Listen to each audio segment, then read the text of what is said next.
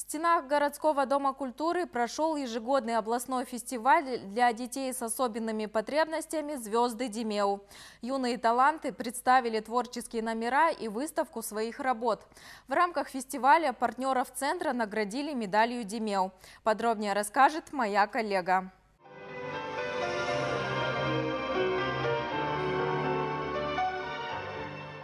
Цель фестиваля – поддержать таланты детей с особенными потребностями и развивать их творческие способности, отмечают организаторы. В городе на бесплатной основе э, на базе ОКЦ э, действуют три э, кружка, куда дети ходят, развивают свои возможности, способности. Они сегодня будут показывать свои способности и возможности на сцене.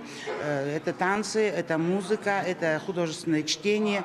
Вы видите, да, их творческие работы, которые выставка, на выставке выставлены. У нас э, нет э, цели оценивать детей. У нас каждый ребенок, он победитель. Областной центр детей и юношества уже долгие годы поддерживает детей с ограниченными возможностями. Мы всегда оказываем содействие, всегда оказываем поддержку в проведении данного фестиваля.